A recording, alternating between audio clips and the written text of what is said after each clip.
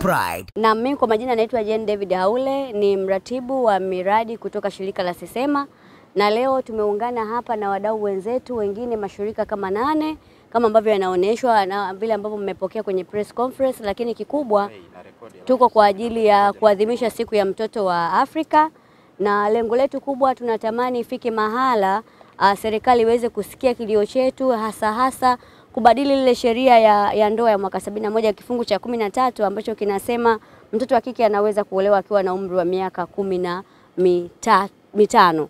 Kwa hiyo tunatamani kuona inafika mahala uh, wabunge wetu wanafika mahala na kubadilisha ile sheria, kwa sababu mahakama ilishaamua.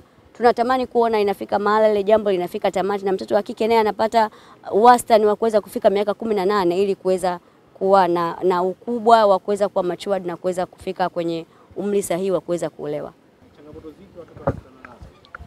Changamoto zilizopo ni nyingi, na ukizungumzia swala zima la haki ya mtoto especially mtoto wa Kitanzania, tunafurahi kwa sababu sasa hivi uelewa upo kwenye jamii. Jamii yetu inaelewa kuhusu ukatili, hata ile jamii yetu ya vijijini inafahamu kuhusu ukatili, na ndio maana tunaona pia hata reporting rate iko kubwa, kwa maana ya taarifa ya kwamba watu wanaripoti kuhusu masuala ya ukatili, lakini changamoto kama tunavyofahamu hazikosekani, na moja ya changamoto ambazo sisi tunaiona kama wadau wa maendeleo ni hiyo sheria ambayo bado inatoa mwanya kwa kumfanya mtoto wa kike kuendelea bado kuwa na unyonge kwenye hilo eneo la kuweza kuolewa akiwa katika umri mdogo. Tunaamini mtoto wa miaka 18 bado anakuwa yuko shule, anapaswa kuwa yuko shule, na maana hata sheria ya elimu bado imeelekeza kwamba mtoto anapaswa kuwa yuko shule, na tunaamini kwamba kama hichi kipengele kikiweza kufanyiwa marekebisho, tunakuwa kuna nafasi nzuri hasa ya kumfanya mtoto wa kike akakuwa na kustawi na kufikia uh, umri wake wa maendeleo.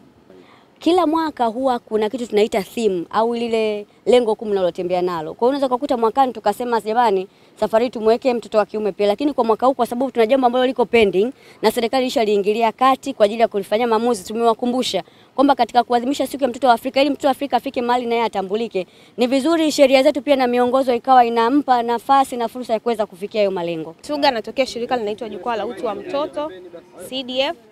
Uh, CDF ni moja ya organization ambayo tumeandaa ili tukio leo katika kuadhimisha siku ya mtoto wa Afrika hapa Tanzania, na kauli mbiu yetu kuu ya leo ukiachana na ile ambayo uh, tumeizoea kila siku ni tuwape wasichana nafasi kubadilisha sheria ya ndoa. Kwa sababu gani? Kwa sababu tumekuwa tunajua kwamba swala la, la sheria ya ndoa, mbadiliko wa sheria ya ndoa limekuwa likienda kwa muda mrefu, na tungetamani sasa hivi kuona mabadiliko ili tuweze kuwalinda mabinti zetu.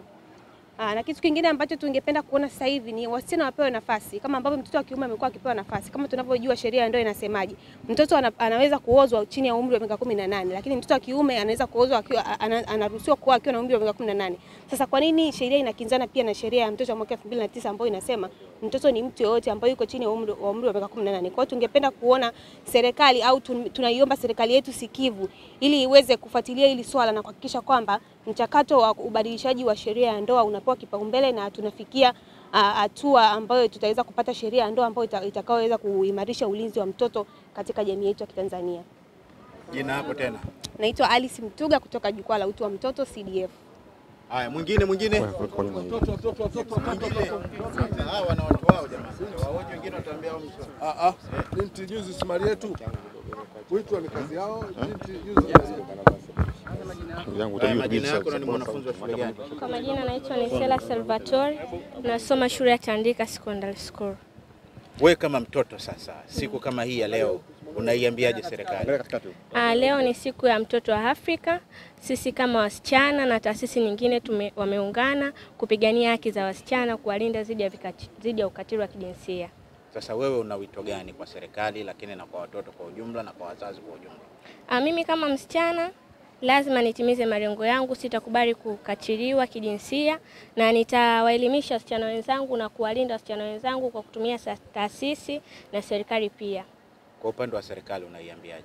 Ah, serikali ile sheria ya 1971 ambayo inasema mtu msichana anapaswa olewe chini ya umri wa miaka kumi na nne iweze kuondolewa kama iweze kuondolewa, lakini na kuna sheria ya 2019 ambayo inasema mtu yoyote chini ya umri wa miaka kumi na nane bado ni mtoto. Kwa hiyo msichana anapoolewa akiwa binti mdogo inaweza ikamwathiri kisaikolojia hata na kimazingira pia. Majina yako na shule unaotokea? Kwa majina anaitwa ni Sera Salvatori Pastori, nasoma shule ya Tandika Secondary School. Mkuu wa chuo cha The Amazon chenye usajili wa NACTIVATE anawatangazia umma na vijana wote waliohitimu kidato cha nne kujiunga na kozi fupi na ndefu zenye fursa za ajira. Kozi zitolewazo ni Hotel Services and Operation Management, Hotel Housekeeping, Hotel Food and Beverage Service and Sales, Hotel Front Office Reception Hotel Food Production and Cookery, kozi ya utengenezaji wa keki, uokaji na upambaji, kozi ya urembo wa nywele, uso na kucha, makeup and hair dressing, tourism management and tour guide, mafunzo ya udereva, secretarial course, kozi ya uhazili level 1, 2 na 3, computer application courses, internet and typing speed, graphic design, Adobe packages, accounting package, kozi ya Kiingereza. Tembelea matawi yaliyoko Tegeta Kibaoni Azania, Mbagala rangi tatu, Mbezi Luis, Ukonga Banana, Makumbusho stendi, The Amazon Driving School Kibaha, The Amazon Driving School Kigamboni Ferry, The Amazon College ni kisima cha mafanikio.